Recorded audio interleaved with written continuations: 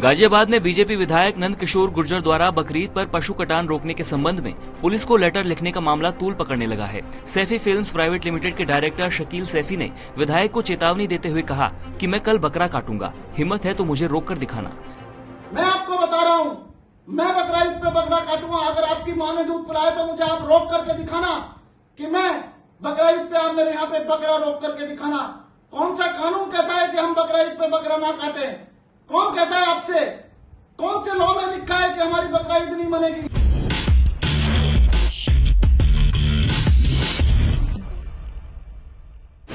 आदाब और नमस्कार, आप देख रहे हैं बेंगलोर अखबार। अल्लाह रूमी रहमतुल्लाह ने कहा था कि ख्वाहिशें बादशाहों को गुलाम बना देती हैं और सबर गुलामों को बादशाह बना देता है। शायद यही वजह होगी कि हिंदुस्तान में 900 साल मुसलमानों का दरबार होने के बावजूद भी आज 30 करोड़ से ज़्यादा मुसलमान विक्टिम फील करते हैं सेकंड क्लास सिटीजन फील करते हैं, ये आप सबको पता है। इसकी सबसे बड़ी वजह जो हमेशा बिंदु अखबार में मैं कहता हूँ the fail leadership of Muslim community on the large क्योंकि पहले मुसलमानों में सरदारी हुआ करती थी, आज सरदार नहीं रहे, सौदागर बन गए इस खास सब्जेक्ट पर बात करने के लिए हमारे साथ दिल्ली से खास मेहमान बेंगलुरु आए हुए हैं, जिनकी पहचान हिंदुस्तान के बॉलीवुड में है, जिनका कारोबार हिंदुस्तान में, हिंदुस्तान के बाहर दुबई में कई सारी जगह है। भले वो मनमोहन सिंह की सरकार हो या नरेंद्र मोदी की सरकार हो दोनों सरकारों में इनकी पहचान है क्योंकि इनका मानना है कि लोगों की खिदमत करने के लिए ताकत की ज़रूरत है तो हमेशा ताकत के साथ रहता है। नाम है डॉक्टर मोहम्मद शकील सैफी साहब। इनकी एक ऑर्गेनाइजेशन एक संस्था है वर्ल्ड पीस ह्यूमैनिटी जो दरार पड़ी हुई हिंदू मुसलमानों के दिलों में आज उसको दूर करने का काम करते हैं। आज हमारे साथ खुद मौजूद हैं आज इनसे बात करते हैं। साहब सबसे पहले पूरे हिंदुस्तान ने आपको कुछ दिन पहले उस वक्त देखा जब दिल्ली में एक मस्जिद के पास। एक रास्ते में जो नमाज़ पढ़ रहे थे तो पुलिस वालों ने लात मारा था फिर आप पहुँच गए सस्पेंड करा दिया थप्पड़ मार दिया पुलिस इंस्पेक्टर को। दूसरा हादिसा ईद उल अजहा के बाद ये कर्नल सिंह ने एक धमकी दी कि एक लाख से दो लाख मुसलमानों का कत्लेआम कर देगा फिर आप हाईकोर्ट चले गए इस पर नज़र डालेंगे। अस्सलाम वालेकुम। मैं सबसे पहले बेंगलोर अखबार के एडिटर साहब को बहुत बहुत शुक्रिया अदा करता हूँ कि आप अपना कीमती समय लेके मुझ जैसी नाचीज के पास आए और मैं आपके ज़रिए देश के, खास करके मुस्लिम समाज के लोगों को मैसेज देना चाहता हूँ। मेरा नाम हाजी शकील सैफी है, मैं चेयरमैन हूँ वर्ल्ड पीस हारमोनी का। भाई ने अभी बताया कि आप नमाज़ पढ़ते के लात मारना, चाहे वो नरेंद्र मोदी की सरकार हो, चाहे वो राहुल गांधी की सरकार हो या वो किसी की भी सरकार हो, ये बर्दाश्त नहीं की जा सकती थी। और मैं सबसे पहले इसका शुक्रिया अदा करूँगा अल्लाह ताला को कि अल्लाह ताला ने मुझे वो कौम का जज्बा दिया और मैं उस जज्बे के साथ जुमे की नमाज़ पढ़ने के बाद मैं वहाँ गया। जाने के बाद वहाँ हज़ारों लाखों लोगों की भीड़ थी और जैसा कि हमारे देश के प्रधानमंत्री कहते हैं कि अट्ठाईस तारीख को उन्होंने संविधान के ऊपर हाथ रख के कसम खाई थी पार्लियामेंट में कि सबका साथ, सबका विकास और सबका विश्वास।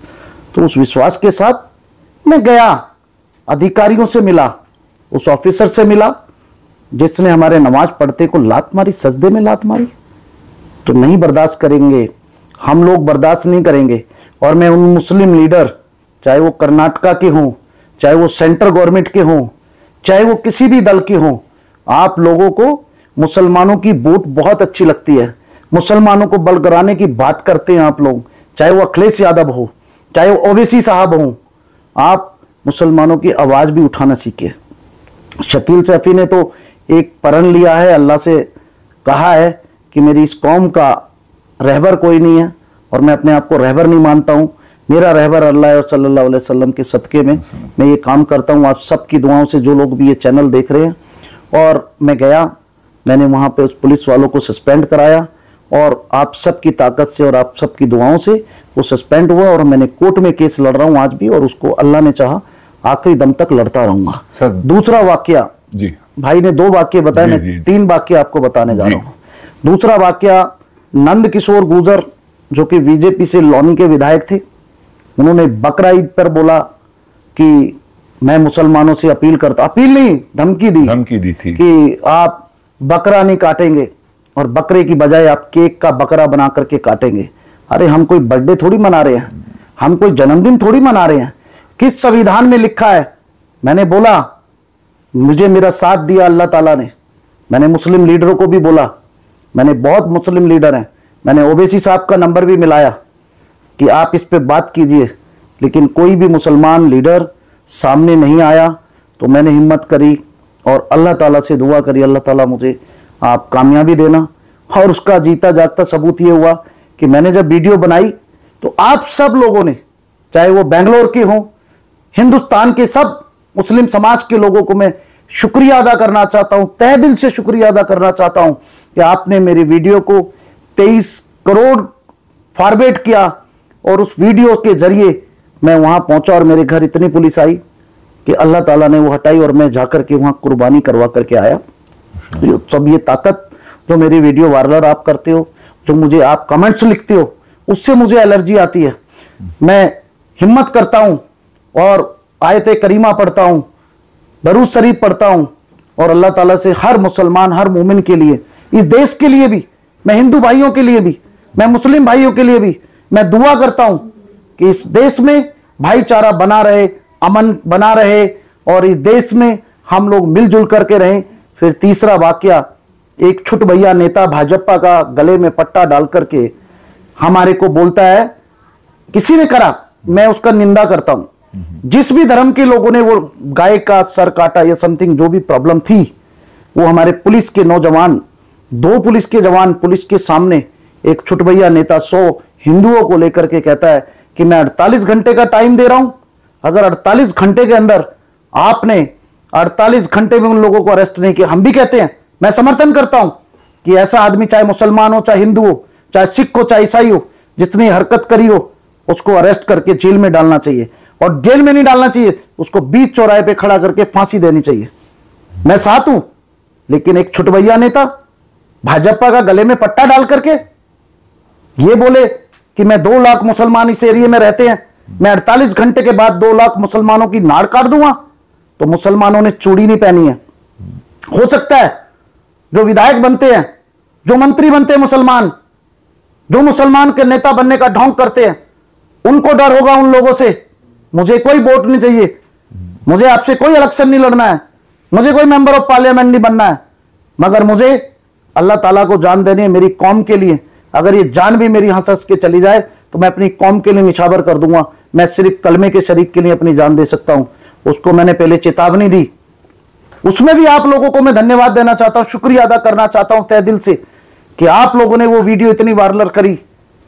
और उसके बाद मैं उस एरिए में गया और मैं चैलेंज देता हूँ आज भी, जो सांप्रदायिक ताकत है, जो मुसलमानों को खिलौना समझती है, उनसे लड़ाई लड़ता रहूँगा।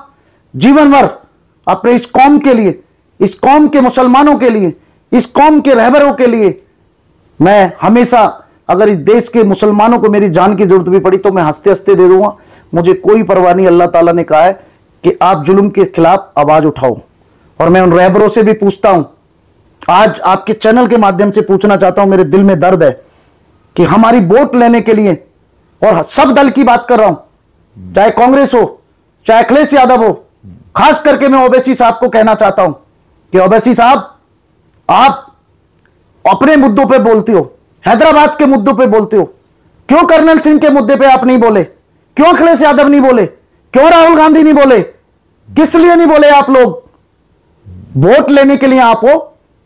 मुसलमान को कटने के लिए अगर एक आदमी बोल रहा है, गले में पट्टा पहन के, जिसकी कोई औकात नहीं है, और सरेआम बोल रहा है, पूरे हिंदुस्तान की मीडिया उसको बार्लर कर रही है। और वो भी सरकारी अधिकारी, पुलिस वालों के सामने। कि यहाँ दो लाख मुसलमान रहते हैं। अगर अड़तालीस घंटे के अंदर ऐसा नहीं हुआ तो मैं इन मुसलमानों की नार कटवा दूँगा। तेरे बाप में दम है। कर्नल सिंह, मैं तुझे दोबारा बोल रहा हूँ। तेरे बाप में दम है। जो भी अपने फितूर रखता हो दिमाग में कि मुसलमान गाजर मूली है और काट देंगे, मुसलमान इस देश के प्रधानमंत्री आदरणीय नरेंद्र मोदी का सम्मान करता है। इस संविधान का सम्मान करता है। हमारे हजूर पाक सल्लल्लाहु अलैहि वसल्लम ने कहा है कि हम मुसलमान भाईचारे का नाम है। इस्लाम शांति का संदेश देता है। हम तुम्हारी तरह ये नहीं फैलाना चाहते। मैं कहना चाहूँगा, इस देश के प्रधानमंत्री को भी, आदरणीय नरेंद्र मोदी को भी, और जिस जिस देश के भी हैं, और मैं इन लोगों को भी कहना चाहूँगा, खास करके अपनी मुस्लिम कौम को कहना चाहूँगा, आज एक मैसेज देना चाहता हूँ मैं भाई के थ्रू।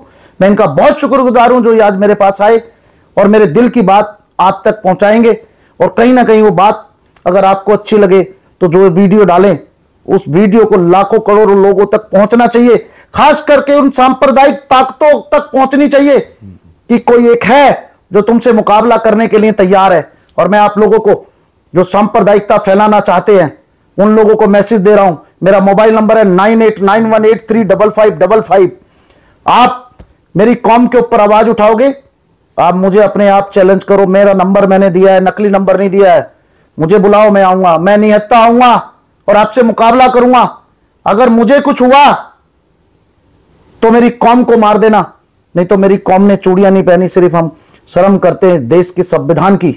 और सबसे ज़्यादा इस देश में अगर शहादत दी है, मुसलमानों ने कहाँ शहादत नहीं दी? मैं सब नेताओं से पूछना चाहता हूँ। सब नेता, क्यों नहीं आप एक होते हो? सैफी साहब सवाल ये उठता है कि आज़ाद भारत के बाद 2014 तक ज़्यादातर कांग्रेस ने हिंदुस्तान में सरकार चलाई है। कुछ देर के लिए जनता परिवार ने भी, लेकिन ज़्यादातर कांग्रेस ने चलाई है।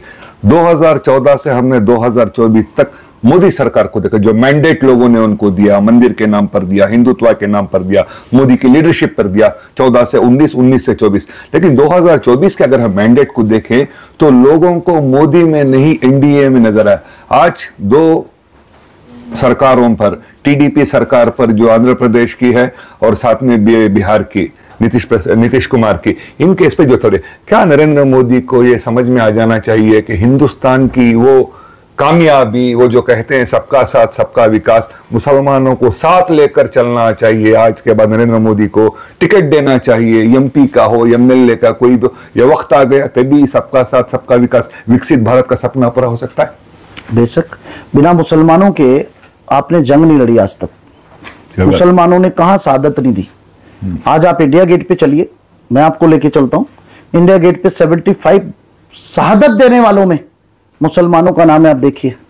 तो इस देश में बिना मुसलमानों के आप सोचें हिंदुत्व के मुद्दे पे तो ये 2024 में ये खत्म हो चुका है। क्योंकि हिंदुत्व के नाम पे 240 सीटें आई है। तो कहीं ना कहीं इस देश में मुसलमानों को और मुसलमान ऐसा नहीं है कि बीजेपी के साथ नहीं है। है। मुसलमान अगर अपनी जान भी बीजेपी के साथ दे देता है लेकिन बीजेपी के लोग उस मुसलमान को नहीं समझते कि वो मुसलमान बीजेपी के साथ है इसने वोट भी दी होगी। भले ही मुसलमान बीजेपी को वोट दे भले ही मुसलमान बीजेपी के साथ रहे लेकिन बीजेपी के मेंबर ऑफ़ पार्लियामेंट बीजेपी के लोग नहीं मानते हैं कि हम मुसलमानों ने भी वोट दी होगी और हम लोगों का दर्द ही है कि हम जाए कहाँ? मैं पूछना चाहता हूँ आज आपसे पूछना चाहता हूँ। जी। बाबरी मस्जिद का गेट किसने खुलवाया? बताइए आप। राजीव गांधी के वक्त में खुला था। राजीव गांधी जी देश के प्रधानमंत्री नहीं थे नरसिम्हा राव जी प्रधानमंत्री थे। राजीव गांधी जी ने ऑर्डर दिया। पहले doctor Buta Singh ji home minister थे। सिर्फ़ एक आदमी कैबिनेट में था जिसका नाम अर्जुन सिंह है। अर्जुन सिंह ने बोला था राजीव गांधी को नरसिम्हा राव को कि नरसिम्हा राव जी आप ऐसा जहर राजीव जी आप घोल रहे हैं जीवन में जिससे आने वाली सौ नस्लें हिंदू, मुस्लिम और जहर घुल जाएगा। तो ये जहर किसने घोला है, मैं पूछना चाहता हूँ। क्या लोग कब समझेंगे? हमारे लोग कब समझेंगे? हम अपना एक प्रतिनिधि चुने, हम अपना एक लीडर चुने। हम क्यों नहीं एक होते हैं? हमारी तादाद कितनी है? हम अल्पसंख्यकों की तादाद कितनी है? तो मैं ये कोशिश में लगा हुआ हूँ। आपके माध्यम से मैं आपका बहुत शुक्रगुजार हूँ कि हम मुसलमानों को चाहे वो कोई भी हो कलमे का शरीक हो अल्पसंख्यकों को सबको एक हो जाना चाहिए और एक होकर के अपना लीडर चुनना चाहिए कि मेरा लीडर ये है मेरा रहबर ये है। हम लोगों का कोई रहबर नहीं है। मैं मैं मेरा तो कोई रहबर नहीं है सिवाय अल्लाह के और सल्लल्लाहु अलैहि वसल्लम के। तो मैं तो ये जानता हूँ कि हमें एक रहबर चुनना चाहिए। जैसे बेंगलोर के लोग हैं वो अपना रहबर चुने या पूरे देश से एक रहबर चुने। जो एक आवाज़ मारे तो हर मुसलमान खड़ा हो जाए। तो सबसे पहले एक ऐसा रहबर चुनो जो कम से कम अपनी कौम को नहीं पूरे देश की बात कर रहा हूँ हिंदू मुस्लिम सिख ईसाई की। जनाब काफ़ी सारी चीज़ों के बारे में आपने इतनी तफसील से बताई। मेरा एक आखिरी सवाल है आपसे। उन्नीस सौ बानवे में हमने देखा बाबरी मस्जिद की शहादत को हमने देखा। ठीक उसके साल दो साल में हमने देखा बम्बई में धमाका देखा। ब्लास्ट उसके कुछ ही अरसे के बाद 2002 में हमने गुजरात का देखा गोदरा का इंसिडेंट देखा। ये जो इंसिडेंट्स जो हुए हैं इन हादिसात की वजह से 130 करोड़ जो जनता है हिंदुस्तान की कहीं ना कहीं एक ताकत मुसलमानों के हिंदुओं के दिल में दरार डालने की एक बड़ी कोशिश की जिसका आपको इल्म भी है। आपकी जो ऑर्गेनाइजेशन है वर्ल्ड पीस ह्यूमैनिटी जो. World peace harmony I am sorry world peace harmony जो करे। आज के जो नौजवान हैं इनके लिए आपका क्या मैसेज है? मेरा मैसेज ये है कि भारत माँ के चार सिपाही हिंदू मुस्लिम सिख ईसाई अगर देश में कोई जहर घोलता है कोई सांप्रदायिकता फैलाता है, उसको मुँह तोड़ जवाब देंगे हम लोग। हम लोग यहाँ पर कार्य करेंगे पूरे देश में और हम सबको मिलजुल करके रहना चाहिए। हिंदू भी हमारा भाई है, मुस्लिम भी हमारा भाई है, सिख भी हमारा भाई है, ईसाई भी हमारा भाई है। अगर वो इंसानियत है और अगर कोई अपनी इंसानियत खोता है तो उससे लड़ने की ताकत और उससे लड़ने की शक्ति अल्लाह ताला ने मुझे दी है, मैं लड़ूँगा और मैं इन तमाम मुस्लिम एमएलओ से और मुस्लिम लीडरों से और मेंबर ऑफ़ पार्लियामेंटों से ये अपील करना चाहूँगा कि पार्लियामेंट में हमने आपको चुन के भेजा है, हमारी जनता ने, हमारी कौम ने आपको चुन के भेजा है। तो कम से कम आप राजनीतिक रोटियाँ ना सेकते हुए आप इस कौम की आवाज़ उठाएँ। मैं बहुत कहना चाहता हूँ कि ये वीडियो चली, एक हिंदू तत्व का नारा दे के बीजेपी का गले में पट्टा डाल करके नरेंद्र मोदी नहीं बोलते हैं, अमित शाह जी नहीं बोलते हैं। कोई बीजेपी का बड़ा लीडर नहीं बोलता है कि आप जाके नाड़ काट दो, क्योंकि वो तो संविधान के ऊपर रख करके हाथ कसम खाते हैं कि सबका साथ, सबका विकास, सबका विश्वास। अगर ऐसा छोट भैया नेता या कोई बड़ा नेता भी अगर मुसलमानों के खिलाफ बोलेगा तो मैं उसकी लड़ाई लड़ूँगा क्योंकि नरेंद्र मोदी ने नहीं कहा कि आप तलवार चला दो और लोगों को मार दो। नरेंद्र मोदी जी ने नहीं कहा कि आप बकरा ईद मत मनाओ। उन्होंने तो बकरा ईद की मुबारकबाद दी। उत्तर प्रदेश के मुख्यमंत्री योगी आदित्यनाथ ने ईद उल जुहा की मुबारकबाद दी। सबने दी। लेकिन अगर ऐसी किसी को भी मिलता है मेरा मोबाइल नंबर है भाई का चैनल है भाई के मोबाइल नंबर आपके पास है मुझे बताओ। सुप्रीम कोर्ट जाना है हाई कोर्ट जाना है या जहाँ भी जाना होगा मैं खुद लड़ूँगा। मुझे किसी से ना फंडिंग चाहिए, ना मुझे किसी से पैसे चाहिए। इस देश में सांप्रदायिकता खत्म करनी है, आपसी भाईचारा लाना है और मेरा एक नारा है, भारत माँ के चार सिपाही, हिंदू, मुस्लिम, सिख, ईसाई। जनाब सबसे आखिरी सवाल मेरा। बीजेपी की पार्टी की अगर हम बात करें तो जितने लोग एक लीडर की तरफ़ आपकी मैं तवज्जो चाहता हूँ, जो पर्सनली मुझे भी लगता है, वो ज़्यादा सेक्युलरिज्म की बात करते हैं, मुसलमानों की हित में बात करते हैं, जिनका नाम है नागपुर के member of parliament transport minister Nitin Gadkari ji. आपको क्या लगता है उन्होंने मुसलमानों के बारे में जिस तरह से कहा था? क्या कहेंगे नितिन गडकरी के बारे में? क्योंकि आप देखिए- उनके करीबी दोस्त हैं। देखिए मैं बता दूँ नितिन गडकरी जी एक ऐसे इंसान हैं जो निस्वार्थ कोई भी धर्म का आदमी आ जाए किसी भी धर्म का उसकी इज़्ज़त करते हैं उसका सम्मान करते हैं और उसका काम करते हैं। और इसी तरह हमारे देश के प्रधानमंत्री नरेंद्र मोदी जी नहीं कहते हैं या कोई मिनिस्टर नहीं कहता है कि जाकर के आप मुसलमानों को मार दो या मुसलमानों को काट दो। लेकिन इंसानियत सबके अंदर है। नितिन गडकरी जी ने मैं उनका एक वाक्य बताना चाहता हूँ कि हमें एक प्रॉब्लम आई मुस्लिम समाज के लोगों को रात को 12 बजे। और हम पचास सौ लोग मुसलमान इकट्ठे होकर के उनके पास गए। उन्होंने हमारी समस्या का समाधान रात को दो बजे किया। और मुस्लिम समाज को ये सब प्यार करते हैं। आधी रात अगर हमें ज़रूरत होती है रामवीर सिंह विदुड़ी की नितिन गडकरी जी की बांसुरी जो सुषमा स्वराज जी की बेटी है उनकी चंदेला साहब की और बीजेपी की राजनाथ सिंह जी जो हमारे रक्षा मंत्री हैं, हैं और अमित शाह जी जिन पे हम लोग अपनी समस्या लेके जाते हैं तो वो मुसलमानों का काम करते हुए ये नहीं देखते कि मुसलमान समस्या लेके आया हिंदू की समस्या लेके आया। वो लोग काम करते हैं। तो मैं उन छो, छोटे जो छुट भैया नेता है उन्हें बताना चाहता हूँ कि ये देश सबका है और ये देश सबसे चलेगा। आपके बाप का देश नहीं है। ये देश चलेगा तो सबकी एकता से चलेगा और सब इसमें साथ चलेंगे। और मैं बहुत शुक्रगुजार हूँ अपने बेंगलोर अखबार। अखबार का कि इन्होंने आज मुझे अपना कीमती समय दिया और मेरे जज्बात को आप लोगों तक पहुँचाया और मैं एक बार फिर ज़रूर आऊँगा बेंगलोर और आपसे रूबरू होऊँगा और मैं दिल्ली भी आपको आमंत्रित करता हूँ। बहुत बहुत शुक्रिया सर नेक काम करते रहे ये थे हमारे साथ डॉक्टर मोहम्मद शकील सैफी साहब जिनका मानना है कि हिंदुस्तान चार पिलर्स पे है हिंदू मुस्लिम सिख ईसाई। इसीलिए अल्लामा इकबाल रहमतुल्लाह ने कहा था कि मज़हब नहीं सिखाता, आपस में बैर रखना। हिंदी है हम वतन है, हिंदुस्तान हमारा। देशो दुनिया की खबरों के लिए जुड़े रहे बिंदुर अखबार के साथ। मैं हूँ आपके साथ अशफाक अहमद सिद्दीकी।